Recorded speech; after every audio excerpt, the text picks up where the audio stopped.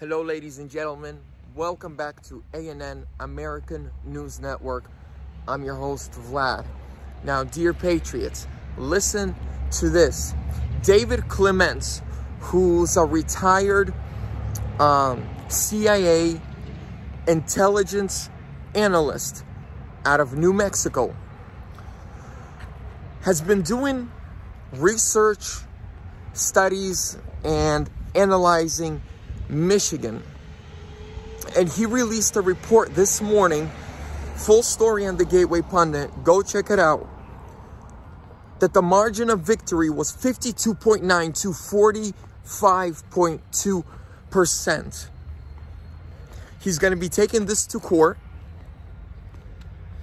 And it's going to be interesting, but he the, the proof that he puts down is you can't argue it, you can't dismiss it. It's unchangeable proof. Like, you can't mess around. And he's ready, he said he's ready to sign affidavits and go under oath. And he said he's ready to be questioned by anybody out of that state. Just kind of like Mr. Mike, who sells pillows, said, if you can disprove my info, I'll give you $5 million. And you know what? Not a single person has come out to challenge him yet. Not a single person has come out to challenge him yet. And Clements is doing the same thing. He said, come try me. Come on. Let's go. Let's see who's ready to sign an affidavit and go under oath in front of a federal judge or a Supreme Court justice. Guys, the proof is coming out. Now, I'm not big into the whole prophecy thing.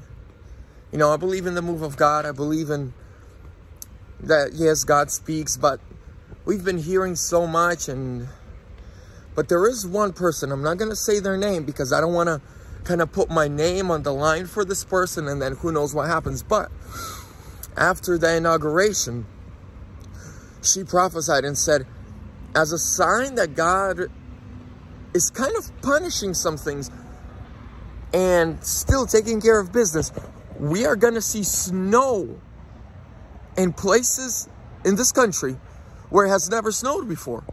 Well, where it doesn't usually snow.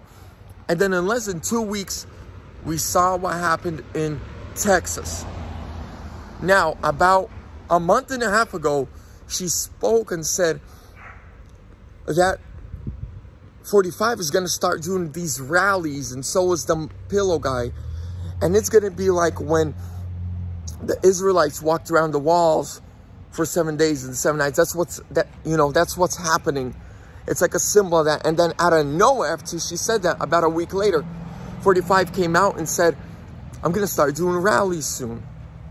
And she said, these are like signs of things kind of moving along and starting to shake up